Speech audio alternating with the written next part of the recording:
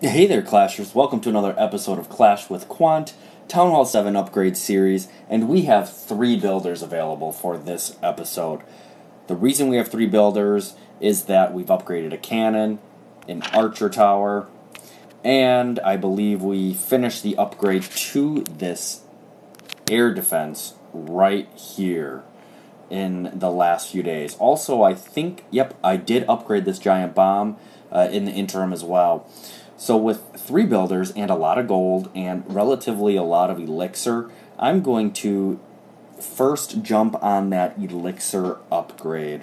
Let me see if I have my camps full for the next round of troops. Yes, I do. And this camp is full too. So, we have two armies already set and ready to go, so we don't have to spend any additional elixir.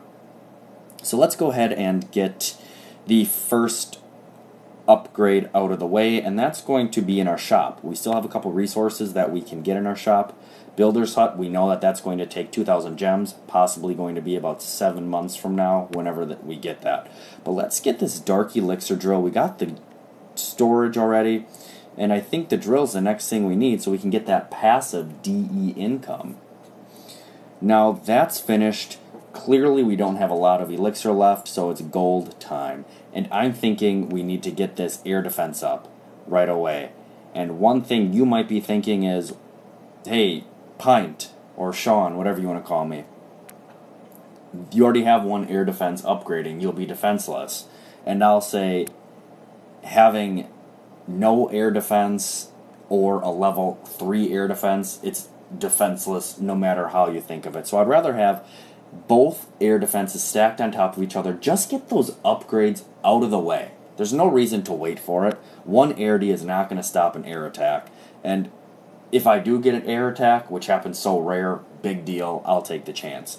I'm upgrading this right now. Too much discussion about that. Now, the next thing I'm going to do is walls. Because we still have 1.5 million gold pieces. Let's see we can collect our loot now. Uh, 1.5 million gold pieces, plus we have to collect our our clan castle. We just won a war, so that's about 400,000 more gold pieces and elixir. So we still have a lot of good good uh, upgrades that we can do, and I'm I'm going to upgrade the hidden Tesla next to level two it's 1.25 million gold pieces, so it's pretty expensive, but it's an important upgrade. And I think I'm going to do some walls. So we need 1.25 million. So let's go until we cannot do any more walls. Because we want to get that upgrade going too. Alright. So our magic number is 1.25 million. I have no idea how many walls this is. Normally I count them out.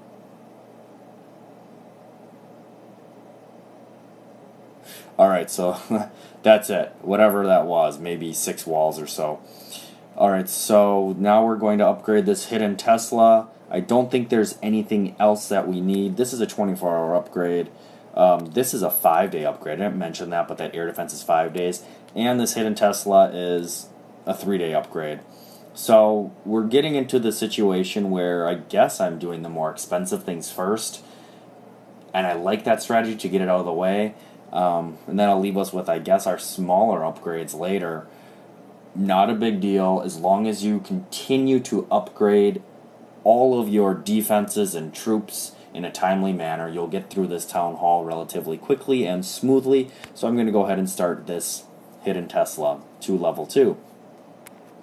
Alright, so that is that.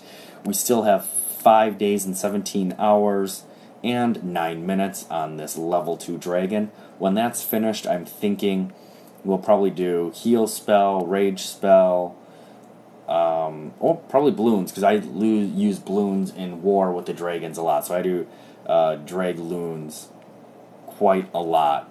And then if I do have the elixir in the meantime, maybe get this dark elixir drill up to level 2 and possibly level 3.